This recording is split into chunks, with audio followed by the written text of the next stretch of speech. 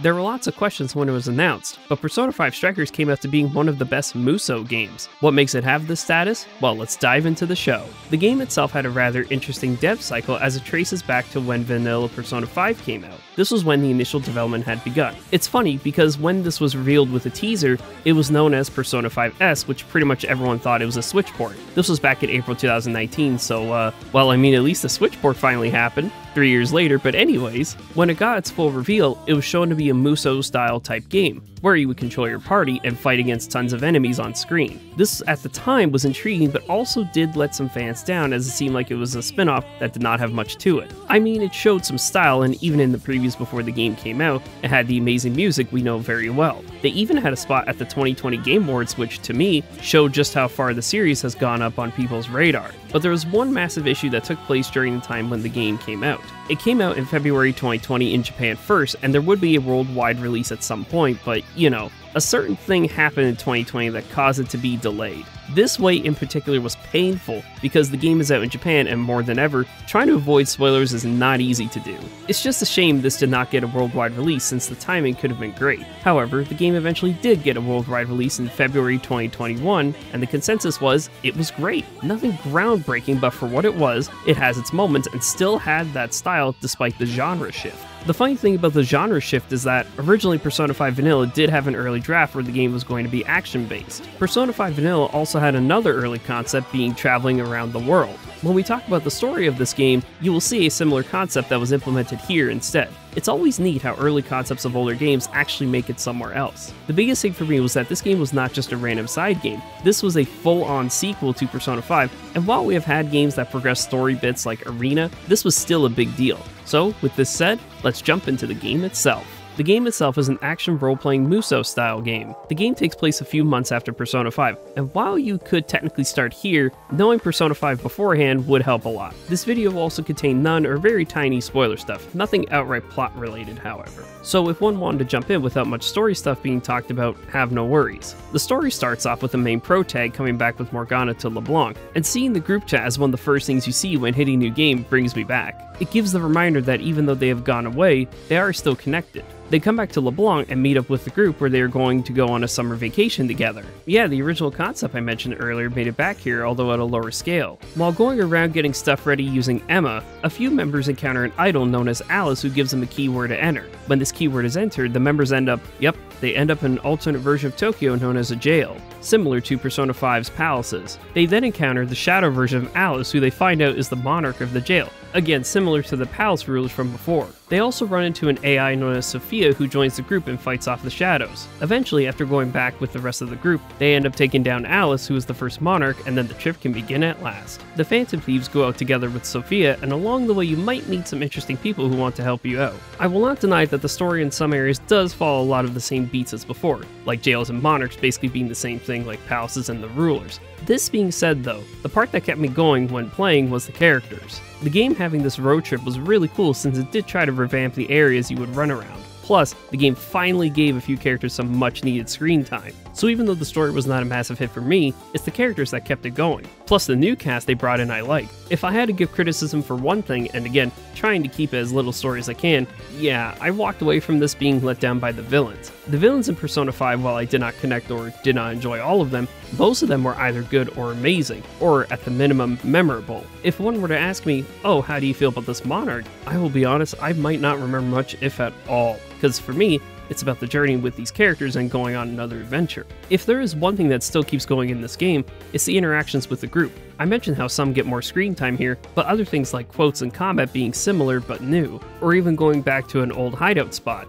These things are small, yes, but they can make a difference. I mean, the big one for me is that Lavenza is still the attendant. No Igor in sight, however. I wonder where he may or may not be. I think my favorite interaction in the game, though, has to be before they go on the trip. We see the protag with Morgana, Ryuji, and Ann having ramen talking about how at the start it was just them in the group. It honestly was at this point that I knew I was really going to like the interactions. So even with my issues with certain story things, at least there is this. Anyways, let's get into the gameplay of Strikers. With the genre change, one might think that there is non-stop action, and while this did concern me before the game came out, what they did here was amazing. Of course, the game is very much a Musou style where you have a ton of enemies to fight off on screen at once. You do this by running around and doing normal attacks while dodging, You can use gun attacks as well with each character, though this costs ammo, and you won't get it back until leaving the jail. You also get access to using each character's special attack, and it's different for each one. For Joker, you can fire a few bullets quickly. For Ryuji, you can have it so you don't flinch. For Morgana, you can literally use the bus to run down shadows. It, seriously, this is actually a move that does damage. These attacks are known as Master Arts, and the more you use them,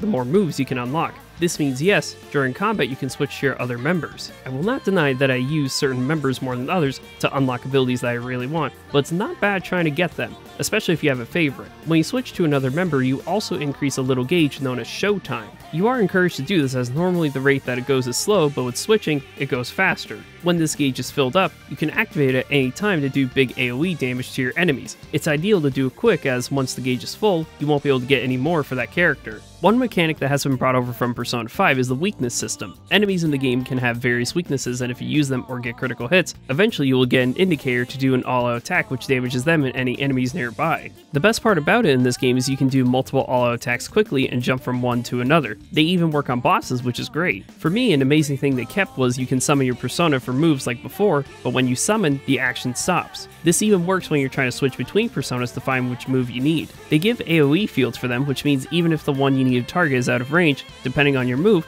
all you need to do is just move the attack just a little bit. Again, while the action is stopped. And if you play Persona games in general before, you'll recognize a lot of the move names. You got physical and magic moves while also having buffs and debuffs. During fights, you can also do one mores on enemies where you can follow up and keep attacking them. This is also tied with party members being on screen with an indicator to also follow up or just doing a move. If you do this, your party member does a move while also switching over to them. During battle, if one needs to heal but doesn't have SP, you can pause the action by going to the item menu to use whatever you want. SP items in this game are huge, so stocking up on them is ideal. So up until this point, a lot of it seems pretty standard and familiar. Yes, we have the Master Arts, which is new, but even that seems like a natural thing to have along with the regular attacking. Now where the game goes even farther is the environment itself. Throughout many battles you will have during the game, you will see many spots that you can jump to, these being objects you can use to perform special moves without using SP or HP, but dealing a tiny bit more damage in some way. Using a streetlight lets the character spin around in an AoE to attack enemies around them. While going on scaffolding, you can slice it down and do a ton of damage to enemies while also getting to do all-out attacks. The environment is your friend, so if you have the opportunity to use it, go for it as it will do a lot for you in the long run. Some of it even has elements of its own so you can even hit weaknesses. This element right here is what makes Strikers stand out to me, being able to jump around the area and use the environment. Other elements that stay from before are getting EXP and Yen after battle. Yen is used to buy items and equipment. Another thing you could get after completing a battle is a new persona. Whenever you see a mask, it can be obtained. This means that negotiation is not a thing in this game, but oh well. At least once you get the persona, you can register in the Velvet Room. Once again, the Velvet Room is here and you can fuse personas and recall old ones. Now because there is no confidant or social link system in the game, the best way to level them up is by enhancing. Throughout, you will be getting a currency known as PP and the more you get, the more you can level a specific persona of your choosing. This can be a little bit of a grind depending on what one needs, but it's better than nothing. Otherwise, the Velvet Room is just like before. You can pick what skills you want to inherit when fusing personas. Without confidants in the game, one might think, is there any bonding at all? Well, there is, known as the bond skills. In the game, you'll be getting points, and if you get enough, you will level up your bonds within the group. With these points, you can learn skills that help you in some way. Some help in battle, while others help outside of battle. And when going through the game, you unlock more. The ways you level up bond is by advancing the story, doing requests, and more. One more thing to note, however, is that the game's EXP share is not generous, so it's best to rotate members when you can. I mean, it is a nice way of trying them out. Battling is not the only thing you'll be doing in the game. Just like in Persona 5, you do go through the jails themselves. Whenever you go through them, there will be enemies around, and if you get close, you engage them in combat. You can get an ambush on them to get a head start, however. If you are jumping around the area, it makes it easier to do this. Observing the area with third eye also helps. One type of shadow that doesn't show on third eye are the desire shadows. These ones are very difficult. You have to wait a while before fighting them since they have a ton of wild moves they can do. When it comes to the actual exploring of the jails, you mainly follow a set path completing the objectives given.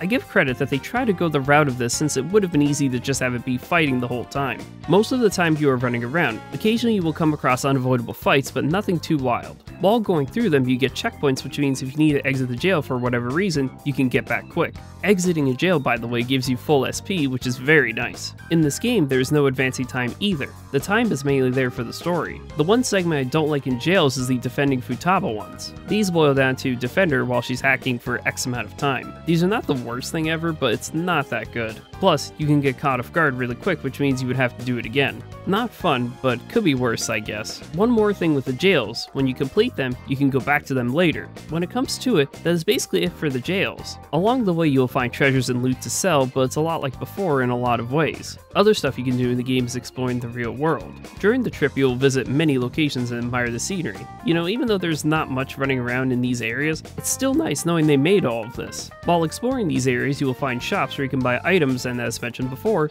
SP items are crucial to have. If you have the yen, it's good to buy all the SP ones just in case something happens. If one is worried that the stock has run out, all you have to do is a few battles in a jail and the items will be back. This is honestly something I wish I knew when I first played because it would have helped out so much. One major shop you can buy stuff from is Sophia's shop. This you can do anytime in the real world. This also happens to be the only shop that has equipment you can buy. You can also cook in the real world and this is used to make items as well. Some shops in the game have ingredients you can buy and these can make some very nice items. Around the areas you will be at, you can also talk with your team to see if they have any requests. The ones that are centered around your team are missable so that is something to note. Before leaving for the next area, the game does give you a heads up on that. Not bad per se if you don't do them, but it is something it mentions to you when playing. When it comes to the side stuff in Strikers, you mainly have the requests to do. Some of these contain beating enemies with certain objectives, others are fusing personas with certain moves and more. Talking about other stuff of course leads to the music of the game. Once again, another Persona game, another great soundtrack. There are some remixes of previous songs like Last Surprise which are good,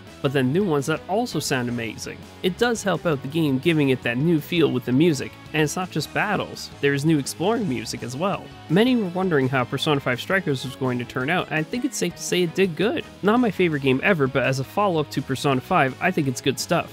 I still say my favorite spin-off is Persona 4 Arena Ultimax, but who knows? Maybe someday there'll be one that beats it. But right now, Persona 5 Strikers is a pretty great Muso game. I finally did a follow-up to my Persona 5 Royal video at long last. If you liked this video and want to see more, check out the other videos on the channel. Thank you for watching and I will see you on the next video.